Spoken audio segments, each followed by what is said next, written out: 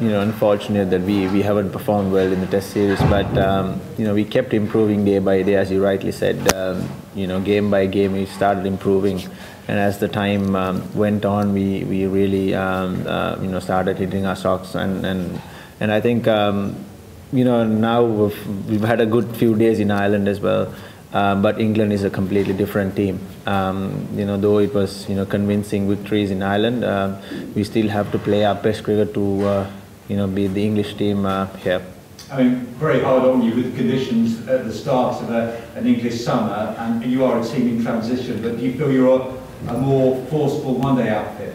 Yes, we are. I think. Uh, um, you know, we, we haven't done really well in the recent past, but we've played a lot of T20 games rather than one days, and I think uh, we are a forceful unit when it comes to one days. Um, you know, we've got a um, good set of um, guys. Uh, we've got a bit of experience as well. Got you know guys like Maharu Upul Tharanga who has played a lot of cricket in England. Um, so we are a you know fairly you know forceful uh, unit when it comes to ODIs. Uh, just on Eranga, can you just give us an update of, of, well, firstly, how his health is, more importantly, and, and obviously what he's going to have to go through with his action, but I mean, how is he health-wise at the moment? What's the situation? Yeah, I mean, it, it has been a tough, you know, 48 hours for him, and, and the whole team is behind him, and, um, you know, we are, we are fully supportive of him, and, um, you know, it, it was an unfortunate uh, incident where, you know, just before we went onto the field, uh, he's, uh, he, he's had a you know elevated heartbeat, and uh, it was quite um, you know shocking. And and we rushed him to the hospital, and uh, we are yet to um, receive any. Uh, or rather, latest news from the doctors. So we, he's undergoing some tests, and, and you all will get to know very soon about his condition. But hopefully, he, he is doing good. Um, yes, and, and once again, uh, another unfortunate um, decision uh, uh, incident where um, you know his his action is um, must prove to be illegal. So he's got to go back, work with the fast bowling coaches, and, and, and come back strong.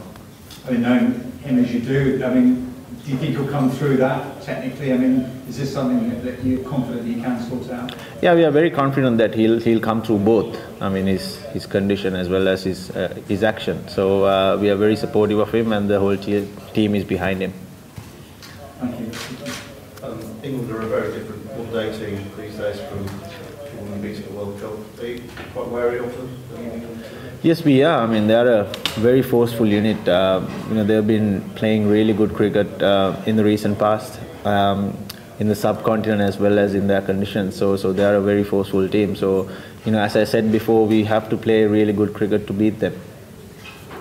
You've got, Um, Champions Trophy here next year and then the World Cup in three years' time. Is this, you feel quite lucky that you've got this opportunity to really get some play blooded and these kind of conditions in, ball cricket? Yes, definitely. I mean, we need more guys coming into England and playing a lot of cricket here to get used to these conditions. Um, the more you play, the the more you get used to these conditions. So so we need more guys coming in playing league cricket, county cricket, you know that'll be very beneficial for us going um, into the World Cup in 2019. But you know our short-term goal, uh, one of our short-term um, you know goals are uh, the Champions Trophy as well in England. So this will be a, um, a good rehearsal for that as well. Kumar and Mahela can make some introductions at Surrey and Sussex and try and get some more Sri Lankan players playing in the future years. Yeah, hopefully. I mean, you know, uh, well, not only Surrey and Sussex. I think there are plenty of um, you know counties around, and, and, and hopefully the guys will be called up, and uh, you know they can some you know they can get some exposure here. England have got a decision to make on the makeup of their team, and one person that could come in is Jonny Bairstow, potentially if Stokes out. I mean, he obviously had a fantastic series in the Test matches. Will your, your preference be him to not play? well, Jonny um, has played um, you know beautifully in the Test series, and he's he's a man in form, and, and, and, and I'm pretty sure that you know England will will get him in the lineup. Uh, but I think we can't you know focus on one particular player. They've got um, a good set of batsmen. It's a very well balanced team, so so we got to concentrate on all 11 players. Uh, we got to make plans for, for each and every one of them and, and try and overcome all that. And, and there's been some talk of the ICC potentially looking at one-day cricket and putting it into a league, maybe bilateral games into a league that would sit separate to the World Cup. But do you like do you like that, the sound of that idea? Uh, well, I don't really know what, what that is. Um, I haven't read anything about it, so, so I can't really comment. And the doctor's been able to give you a diagnosis on, do you know exactly, do you know exactly what is wrong with the? What's, what's Just having those tests. Yeah, he's just undergoing those tests, and it, it was a heli- you know elevated heartbeat, so we still don't know Do you know exactly what it is? what it is. Yeah, And where- is he now? he's in Ireland still. He's in Ireland. He's in Ireland. And did the team doctor stay with him or? Well, the Cricket Ireland have provided the doctors for us. Um, till he finishes his test, he's not allowed to travel. So. So still in the hospital in Ireland? Yeah, okay. still in hospital. What did he actually say? Like, what, what happened at the time? Did he say to? At the time, he just called me and said um, something happened to me. up. Some, yeah, he was warming up, and and just and just before we went out on the field, he just called me and said something happened to me. Can you like touch my heart because it's beating fast? And I felt something unusual, and so I, I quickly called the physio, and then the physio went to the doctor with him. So it was kind of a, you know, shocking, uh, you know, incident. You should, you might be aware that James Taylor, who had uh, a very fast heartbeat, while he was warming up, and of course he's had to retire from the game, there's no indication at this stage whether there's, whether there's any sort of similarities to that, is? No, we still don't know, um, you know, exactly what's going on. So, so till the tests are done, we can't really comment on what exactly has happened.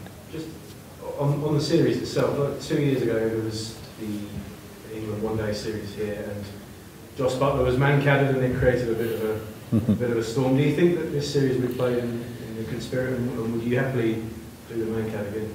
Well, definitely. No, uh, I mean, um, we are not definitely looking forward to doing the Mankading, uh, but uh, you know, within the rules, we'll we'll we'll play our cricket. And um, uh, if somebody is trying to take advantage of the rules, then we'll we'll probably warn him. But um, you know, the the Test series was played in, in very good spirit, so hopefully we'll we'll play the One Day series in very good spirit as well. Just coming back to that, that was a, I mean, you're quite new in the job. Um, you know, that was almost a big moment for your captaincy, but you did st- stand up and say, look, I stand by what the team did, and you had support from Mahela as well. It was uh, you know, quite a time for your captaincy with that one incident, wasn't it? Yeah, it was. I mean, you know, you you face challenging moments in in life as well as you know being a captain. Being in the hot seat is not easy, and some sometimes you got to make those you know hard decisions. Uh, uh, unfortunately, I had to make that, but um, I still stand by it because we warned him twice before, and you know that well, that's all we could possibly do at that time. Thank you.